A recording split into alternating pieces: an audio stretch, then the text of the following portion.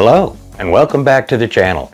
Today on Behr Builds Bikes, we're going to be assembling a Cannondale Adventure 2.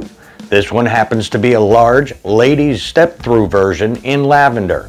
Should be a lot of fun. Let's get started.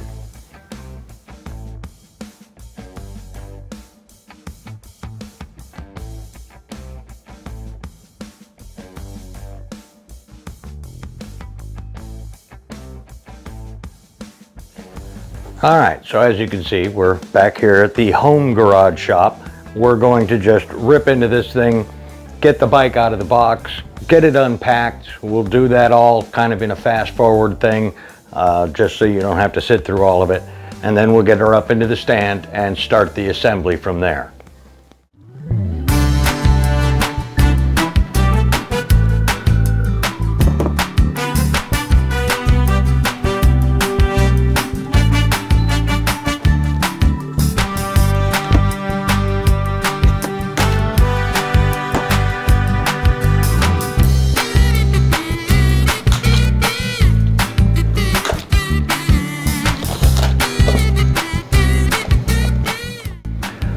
Remember to grease your seat post.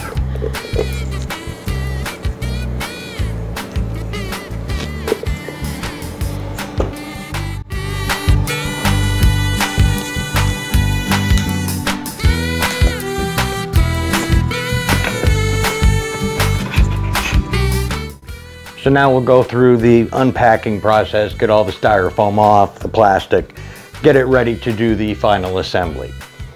This, uh, we're going to do it fast forward.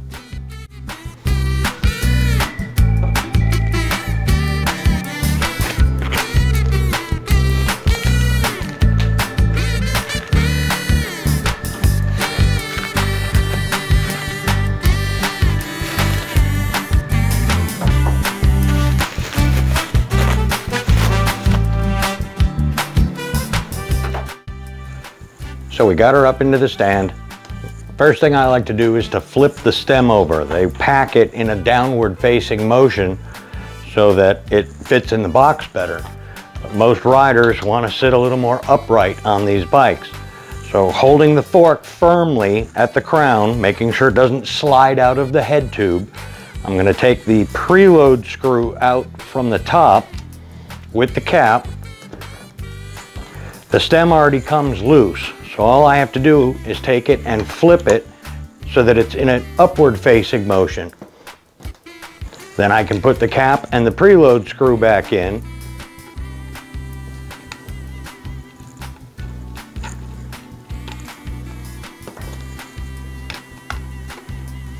And remember, this screw is the tension of the entire headset. It pulls the whole head tube together onto the bearings. So you don't want to over tighten it. You still want to be able to turn it. Now the fork is currently backwards, so let's turn that around and then bring the stem to us, which tightened that bolt. Now I got to loosen it back up. I don't want any play in the headset, but I do want it to turn freely. Now I can tighten up the clamp bolts. They're not going to be perfect right yet because we don't have everything assembled. But we'll get them snug enough to where they're supporting some of the weight once we get the front wheel and the handlebar on.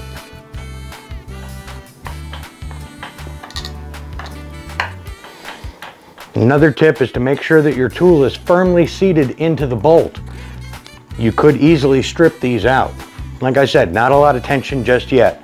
We're gonna pull the cap bolts off, get the handlebar up in it, and then from there we'll be able to finalize the cable routing, get the front wheel in, and adjust the front brake. Our handlebar orientation with the cables should be where we want it. We're gonna take out the cap bolts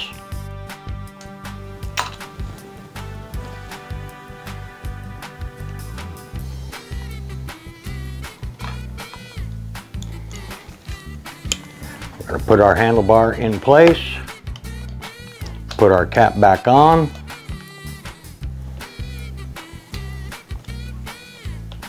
Start the bolts by hand.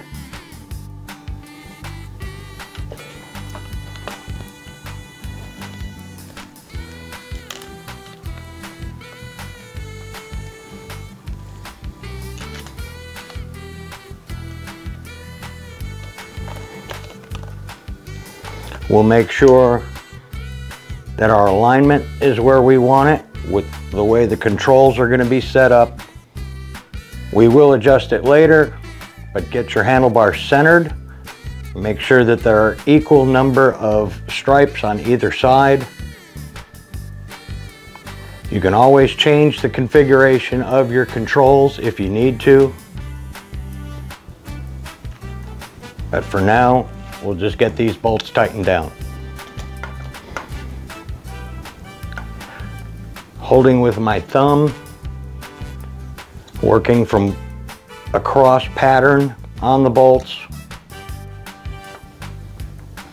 Just get them to where they're snug.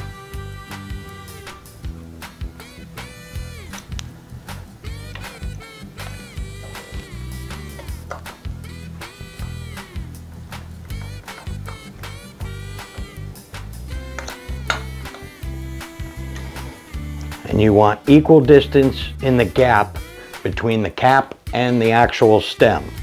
Get your handlebars configured where you think that they're going to be comfortable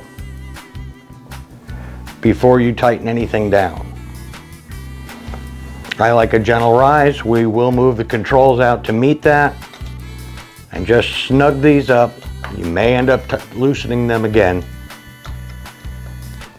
but at least you're in the general ballpark. And then we'll work on the front brake. Your brake cable comes from the factory tucked in for packing purposes. What we're going to do is we're going to route it through the holder. Sometimes you can wiggle these through like that. Sometimes you have to loosen up the little nut on the end. We're going to run it through our bail And we're going to loosen up our holding bolt and we're going to tuck the rest of the cable through the routing with the washer and the clip. Tighten up on it just a little bit. You also want to make sure that the adjuster barrel at the top is all the way in. You want to give the customer the ability to adjust that. We should be able to do it here. Now because this wheel has never been in this fork, we're going to loosen up the caliper bolts so that we do not damage the rotor when we put it in. That gives us freedom of movement so it won't pull the rotor when we slide the wheel in. All right, so in our parts box, our pedals, our reflectors, our front skewer, our owner's manual, and the technical data sheet. So if you've seen any of my other videos, you know that I like to start in the front because that's two-thirds of the stopping power and I like to make the bike stop before I work on getting it to go. Just a general principle rule for me. So we're going to take our front skewer, we're going to open it up, we're going to take off the first spring, leave the second one intact, conical shape, fat side to the flange. Gonna put a little grease on it. Now this side goes through the left side of the wheel. If you look at the tread here, this is the forward facing direction right now. You can see that better like that. That's forward. This is the left side and it's where the rotor is. So this is gonna go through the wheel there we're going to put our spring skinny side in and then put our cap on. We're going to inflate our tire to 70 psi on these. That's your maximum recommended air pressure. Then we're going to slide it up into the fork. So with the rotor on this side, we're going to slide her up into the frame, into the caliper. I put my knee under the tire and go clockwise until the skewer starts to get snug. Then I test it. Back off if I need to. Get it to where it's going to stay really good and snug and make sure the center of the tread is in line with the fork. So now that we know that our wheel is centered in our fork, we're going to adjust our brake. Now we've already loosened up the calipers so that we know that it's free moving. One way that you can attempt to do this is by squeezing the brake lever. That will set the caliper in place and you can just snug up the two holding bolts. I like to use a long Allen wrench, it gets in there better, and then you can test it. You can still hear a little rub. We can make minor adjustments to see if we can get rid of that, and then we'll fine tune the cable.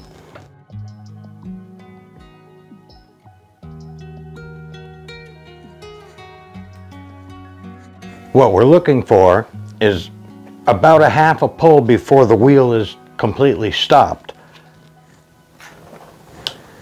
Then we can trim off the rest of our cable, put a cable crimp on it. That brake should be ready to go. When you're happy that it's not rubbing anymore, everything is aligned right, you've got your cable crimp on, make sure that you go back and tighten everything down so that nothing moves and that your cable isn't going to slide through and you should be good to go. So now since we're moving towards the rear of the bike, the next thing we'll do is unpack and install the pedals.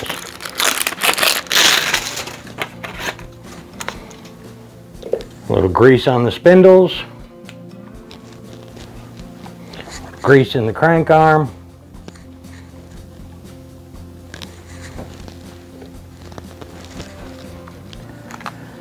particular ones are not uh, they have the stickers on them, but they're not stamped. Right side for right, clockwise motion to get it started. Once the threads start to pick it up, move on to the next one.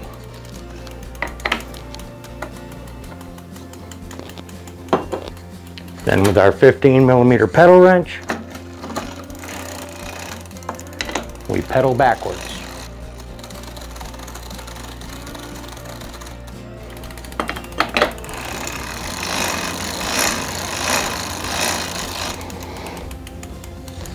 Seat the pedals very well. Press down.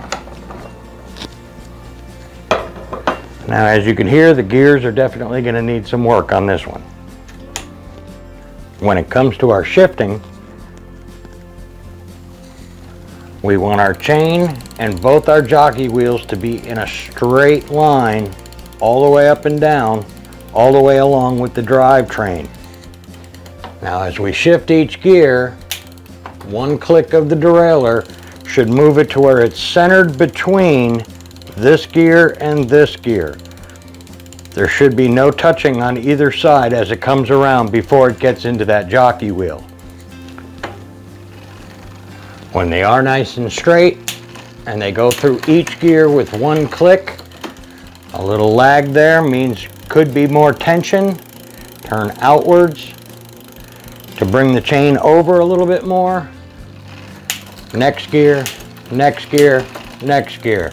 Now you also want to be conscious that the derailleur is not going to move beyond the last chain ring. And that is your low stop screw right here. So if that is bottomed out at the end of the travel, that's exactly where it needs to be. Now we'll go back down to seven. The derailleur does not come any further that way, meaning that our high screw is adjusted properly.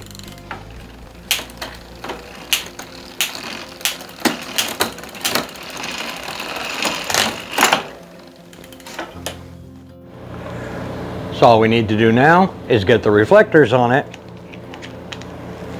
get her down, and get everything adjusted.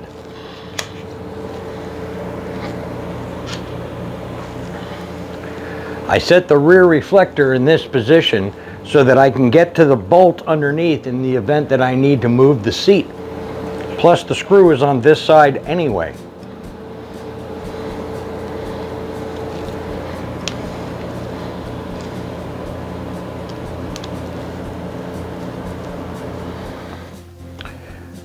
With all the major components put on, we're gonna take her down, get everything adjusted to where the rider would have ultimate comfort. She does have a kickstand. We will use it. All right, so our seat looks pretty level. We shouldn't have to adjust that. We will turn our reflector around and we will put our seat down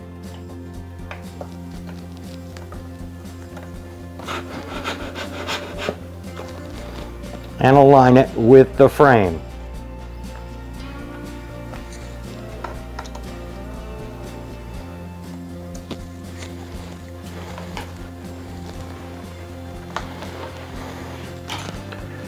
Handlebars we want in line with the front wheel. These two bolts on the back of the stem are the ones that we need to loosen in order to align that. I'm trying to align the entire stem all the way to the tip of the front wheel. I'll show you that from a different angle while we're doing this. And then tighten down the two clamp bolts. If the handlebars feel like they're in a good position, you can tighten down the stem bolts if they have enough rise to them. If not, now is the good time. Tilt them into the position you think would be best. You're gonna move the controls. The grips are lock on, we'll move those as well. Everything on these can be adjusted. But once you have this in the, in the proper position, then you can go ahead and lock down the screws.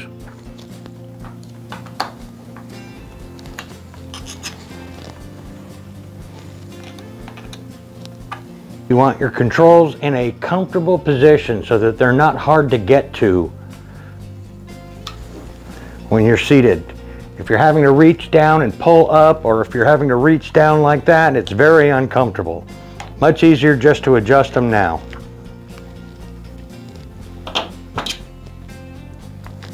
and you can line up across your brake levers to see that they're at the same pitch or you can put your hands across and feel it. Tighten everything down when you get it in the right position.